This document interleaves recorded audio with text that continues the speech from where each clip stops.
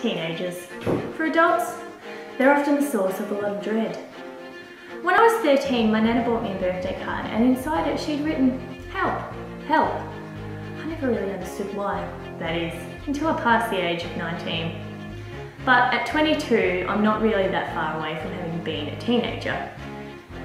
But I was definitely in a different world then. You'll see why, as I introduce my guest that I have today.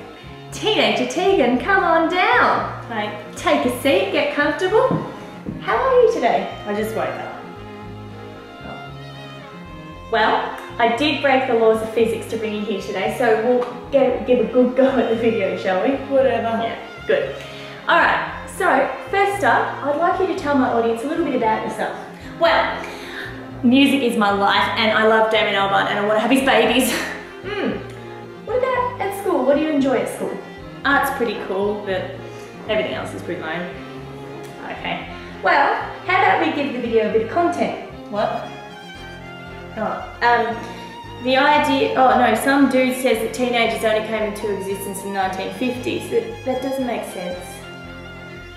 Just, just continue, Amy. Um, the idea of the child only came about during the Renaissance and before that the child was thought of as a little adult or a little sinner. It's very interesting that the idea of a teenager didn't come around until the 1950s. Yeah, I suppose. Isn't it, Tegan? I said, yeah, I suppose. But anyway, in this video, I wanted to try and define what a teenager actually is. Um, so first up, I'll ask you, what do you think a teenager is? Someone who's between 13 and 19. Well, that certainly is one way to put it. The theory that I wanted to talk about is called the deficient model. And it talks about how the teenagers are often defined by what they're not.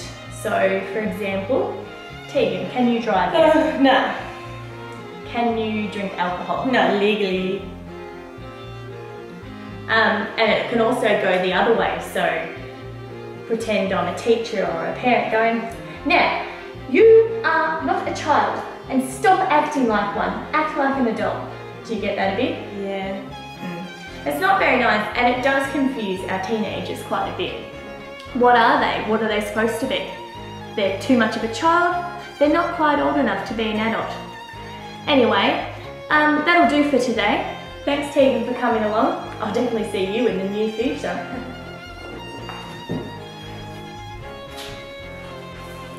Hello, thanks for watching my video about teenagers. This is actually part of my uni assignment, so it would be really helpful if you could comment your opinions to this subject matter down below or whatever. Um, yeah, and I might be able to use it in my assignment, so thank you. Bye bye.